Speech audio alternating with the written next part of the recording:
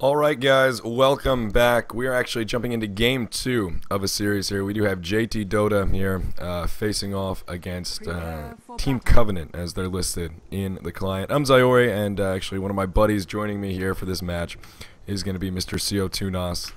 And uh, actually, this was a remake into all picks. So We're going to go ahead and get right into the game, and we'll introduce the heroes here in just a moment. First things first, though, Mr. Co2noss, how are you feeling today, good sir? Well, the fact that I got sleep and you didn't, uh, I'm feeling way better than you probably are. But uh, I'm looking forward to uh, this match. We got some pretty good hero lineup on the uh, Radiant side here.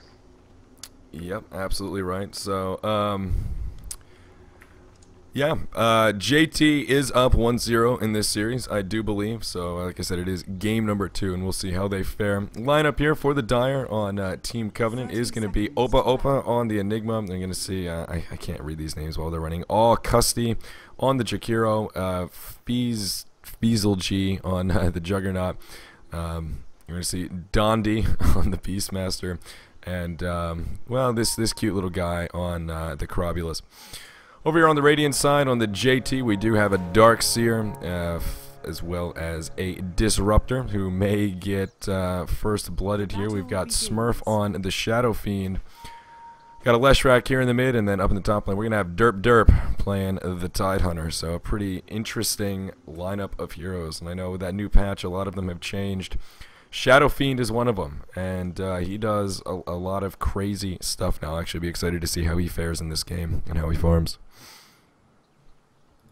I was kind of surprised to see all five of them go bottom jungle, but I guess uh, they realized what was happening and called them out to the rest of the team. And I guess you know now they're all going to miss out on that extra experience that you know the other team's getting.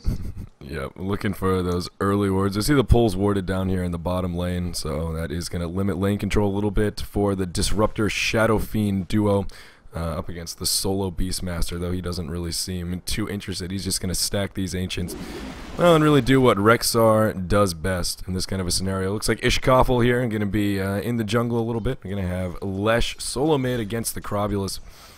And uh, it'll be kind of interesting. I, I always love seeing a Lesh in a little bit more of a sort of a carry style role instead of just a hard support. Solo mid will be able to pick up Nice bit of experience, of course, in the top. We did introduce Derp Derp here on the Tidehunter. He's going to be suicide against the Jakiro Juggy.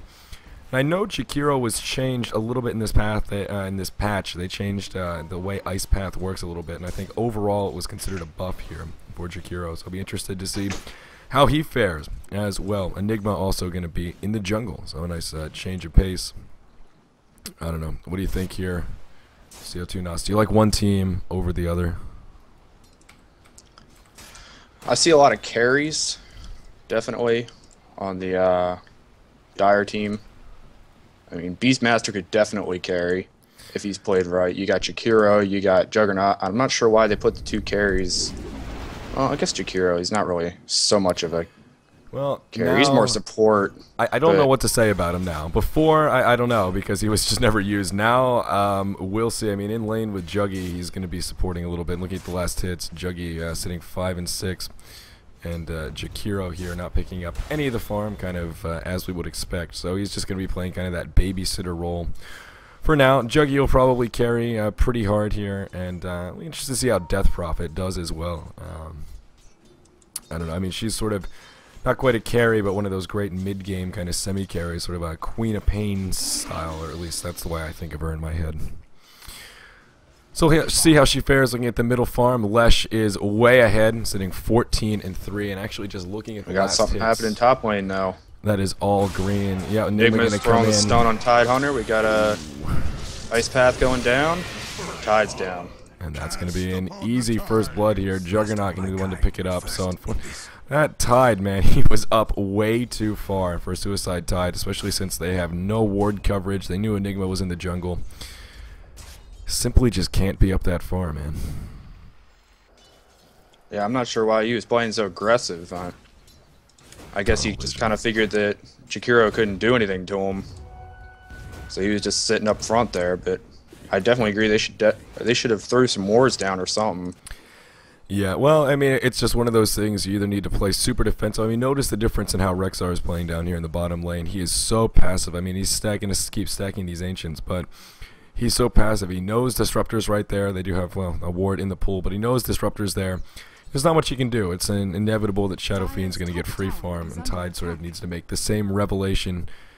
He's not going to be able to do much in the way of shutting down farm. Just needs to pick up experience wherever he can. So see how it goes. But uh, in this mid lane, man, unfortunately for Krobelus, he is just not having a fun time. This Lesh is really doing a nice job picking up a lot of farm.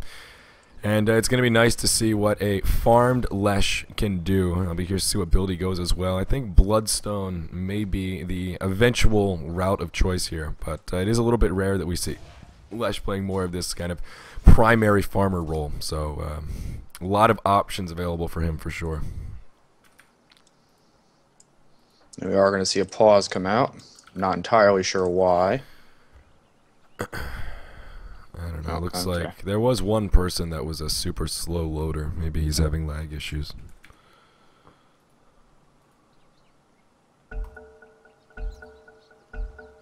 Well, not a very long pause at that. So Shadow Fiend here, he is leading the way in farm though. 31 and 23. He's sitting up at 20 souls right now.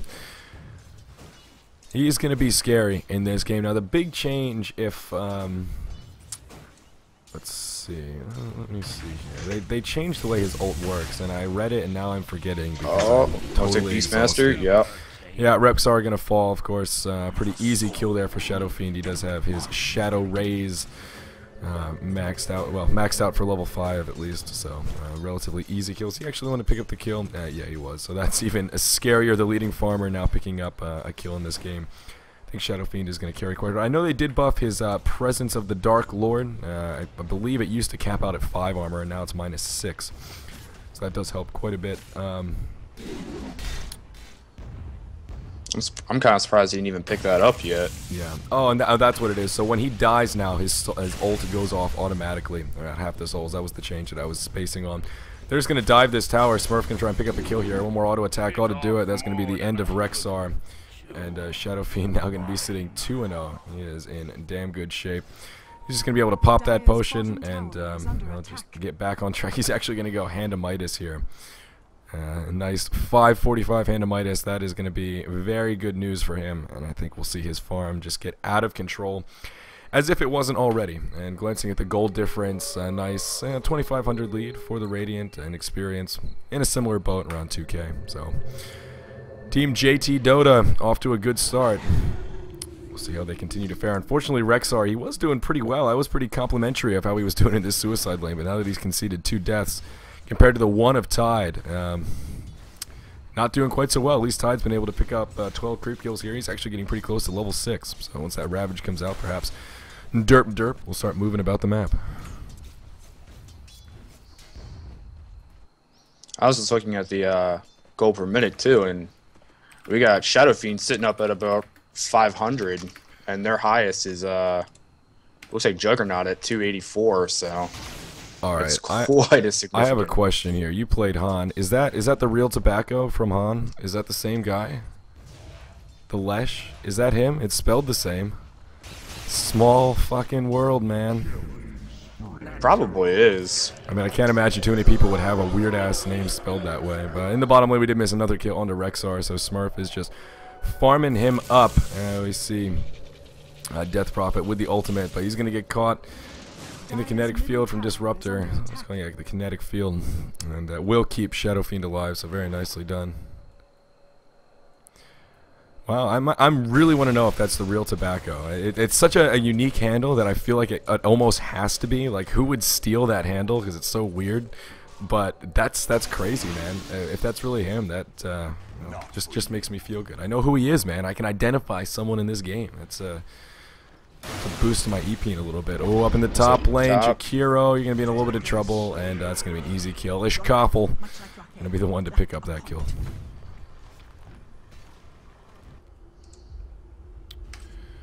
Taking a look at farm here, we still see the three leading farmers, Dark Seer, Lesh, and Shadow Fiend. So kind of the, the trifecta here uh, for this Radiant team. They're in great shape, man. Just looking at the net worth you see just the three of them kind of uh, hopping a skip ahead of everyone else. Juggy, the the only one kind of on par for the course right now, and he's doing all right up in this top lane, but not nearly as well as he needs to be. Let's see, what's his creep score? 24 and 11. Ouch.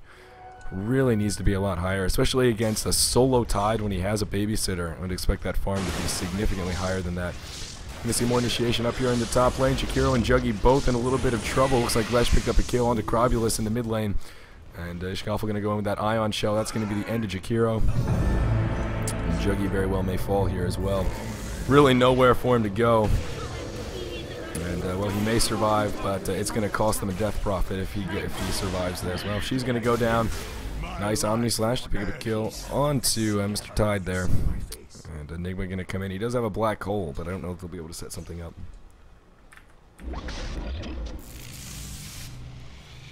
Lesh gonna come in here, and uh, Opa Opa not even gonna use the black hole. Down he goes, 9 to 2 now. JT, damn yo, 7.5k gold lead here, 9 minutes in.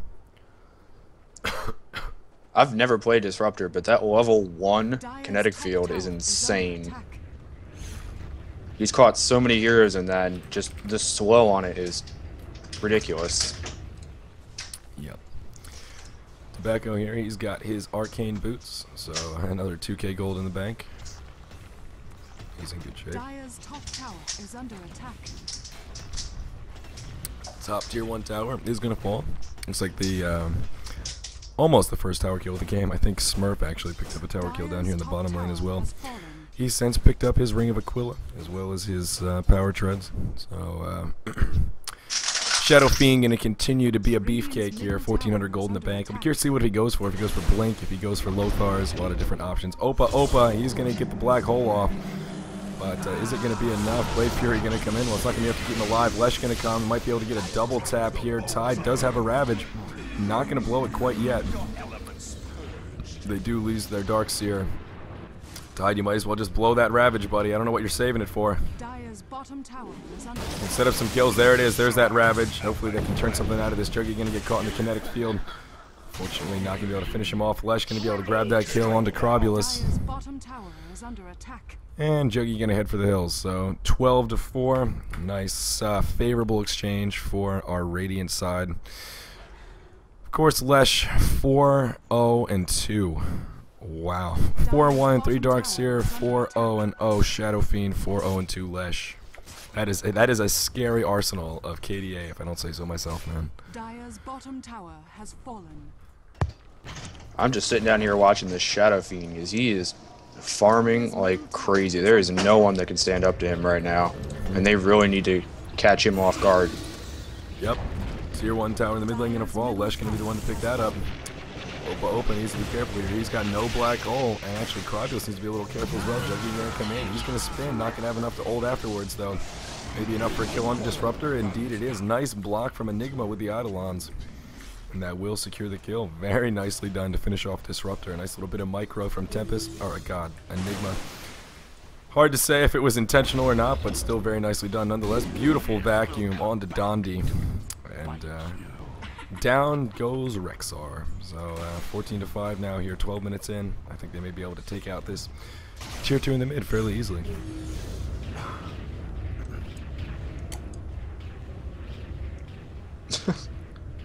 well, Poor Dondi. I would concur to that, Dondi. 05 and 0 Rexxar here, uh, 12 minutes in is not where you want to be.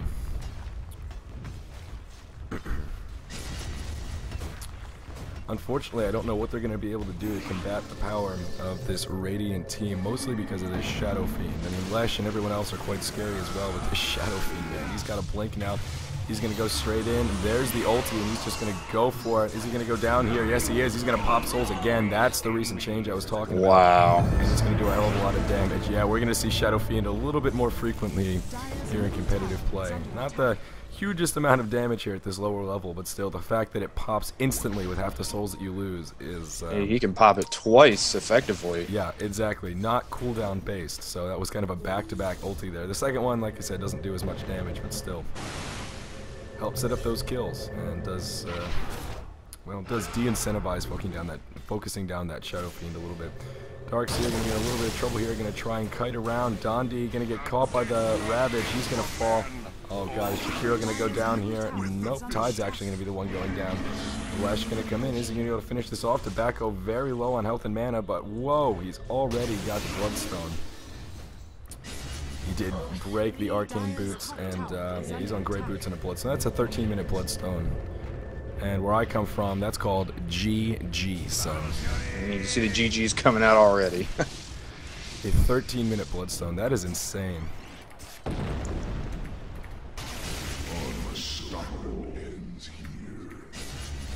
Desolation and the world's are one.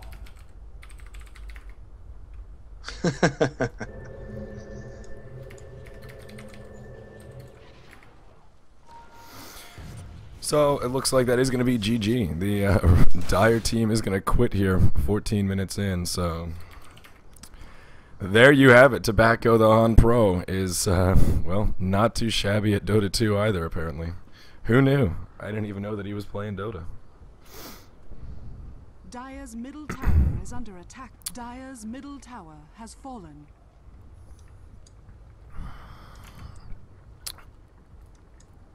So we'll get to the score screen here momentarily. I do believe if they all disconnect, it will Radiant's auto win here in just a second. under attack.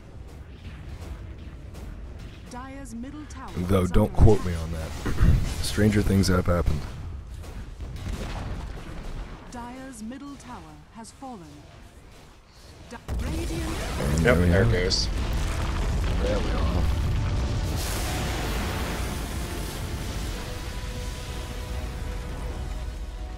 All right. Well, there you have it, guys. That was game two from JT Dota versus um, Covenant. I believe their name was in the brackets. We can see a very, very convincing win.